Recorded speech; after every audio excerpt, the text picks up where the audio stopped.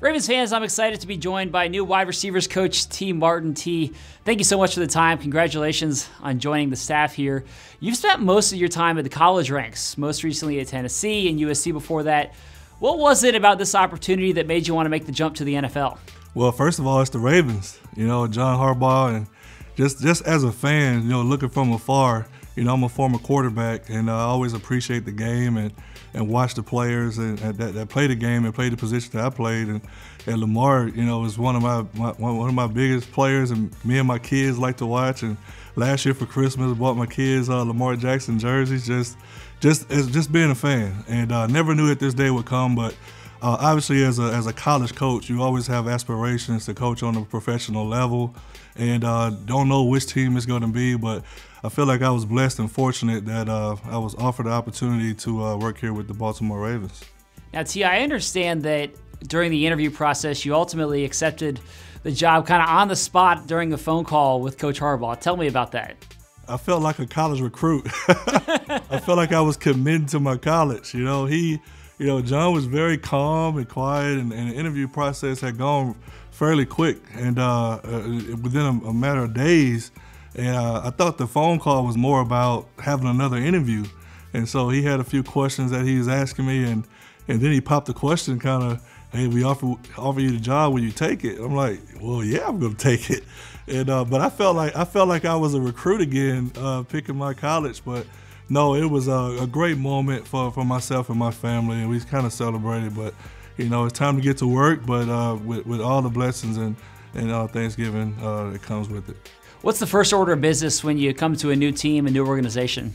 Uh, to be a part of that culture. Uh, when you come from places, especially from college to pro, it's so different. You know, in college you have to recruit, and the day to day is a little different. Keeping up with your players and class and all of these type things. And uh, now, the first thing I noticed is getting to the building, and we're the only ones here. You know, there's no players. And so, uh, just getting used to the culture, uh, getting to know the guys on the staff. We're going to spend so much time together and it's uh, important to me to get to know them as men and, and, as people. And then the biggest thing is to learn the system. Uh, you know, we we are very vast here uh, as an offense, very multiple in the things that we do in the run game and the passing game. It's exciting to to learn a new system. And uh, in the way that the Ravens has been doing things over the years, the best team in the country, in the world, and running the football, I'm excited about learning that. Uh, but that's that's what you do. You hit the ground running, uh, learning, and get to know the guys in the building. I know when you get to a new place, part of it is just learning the players that you're going to be coaching. You don't have a chance to meet them yet, but I'm sure you're watching a ton of tape on them. What are your early impressions of this receiver group?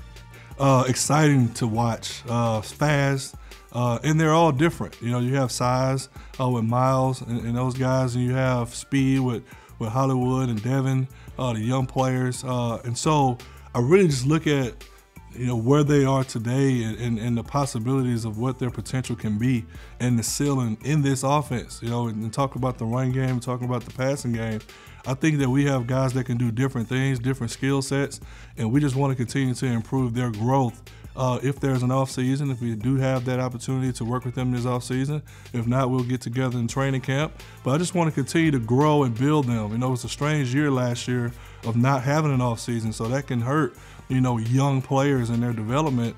I just want to pick up where they left off uh, from last season and continue their growth.